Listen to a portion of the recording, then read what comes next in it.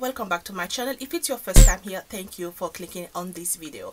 Today i'm here to answer one single question. Should we relax damaged hair or not? I have this question a lot on facebook and i think that will make a great video. Maybe that can help somebody. My answer to that question is yes and no. I know. Before you throw tomato at me hear me out okay? You can relax damaged hair but you have to know this point. If your hair is damaged and you really want to relax your hair you don't want to go for big chop. You don't want to go for extended period of transitioning into natural or wait your hair to grow out for an entire year. It is possible. All you have to do is wait couple of months to wait to have enough new growth and you can relax this new growth safely. It's safely relaxer safe relaxer safe relaxing your hair. I know i repeat it and so different ways. You wait to have enough new growth to relax and you won't be relaxing previously relaxed damaged hair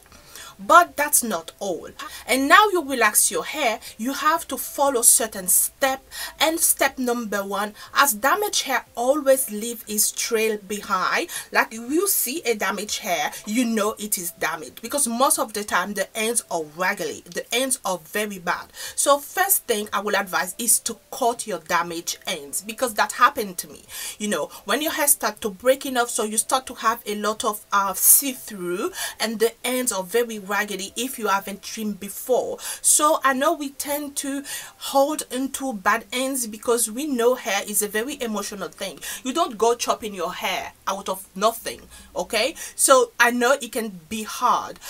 Remove these bad ends. Trim your hair because when you trim your hair you give your hair a chance like your hair won't be all knotted and matted at the ends and that will lead to more breakage. So we don't want that now you relax your hair you trim your hair is a blank canvas. Like that give you the opportunity and it's the time to give your hair some good TLC because if you don't have a good regimen for that hair you better shave it okay? So now you trim what is next? And the next point is to avoid heat because damaged hair is very susceptible to heat and you will make more damage because what the heat does create weak point to your hair. So your hair will lose the thickness it will damage more your cuticle if you keep using heat. And the third point is to incorporate bond builder or bond reconstructor to your hair regimen. I have two options. You can use the ApHogee 2 minute reconstructor is an absolutely great product and is a very good but you can also use all Olaplex to speed up things but consistently using one of these two you will gain your strength you will gain the health from your hair and trust me you will see you will see after a couple of weeks and after three months you will see a big change to your hair. And the next point is to keep your game moisture. Keep your game moisture up. Our hair is naturally i would even say genetically dry so by keeping your hair moisturized, you're giving your hair a chance to not be in a vulnerable position.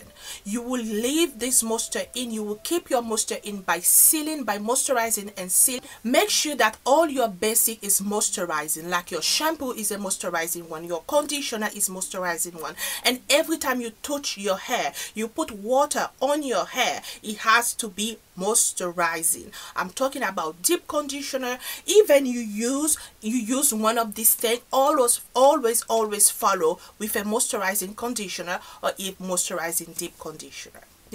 So at this point, I have no need to tell you, you have to build a regimen. Because putting your hair in a, in a bun, like now my hair is in a bun, but my hair is nicely moisturized. But forgetting about your hair, like putting a wig on, doing any other protective styling, that is the hair neglect. Okay? You don't you won't be looking after your hair if you keep covering it if you keep hiding it if you keep shoving aside. So you have to be in contact to your hair. I'm not saying like you have to be touching your hair every five seconds but you need access to hair to moisturizing to scalp massaging to washing your hair every week if you can. So if you can incorporate certain oil in your hair regimen that will help. And the last point is really to be obsessed with health. Obsessed with health. When it comes to building your hair regimen again when it comes of good hair habit like covering your hair at night time scalp massaging having a good diet if like stay away from chlorine like pool situation really is to have a good hair habit.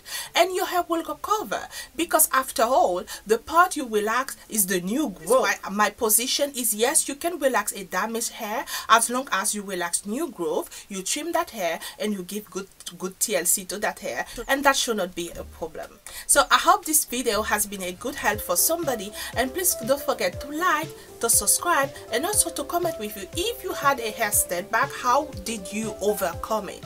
Okay? I would love to hear your your comment. I would love to answer them and i will see you very soon in another video. Bye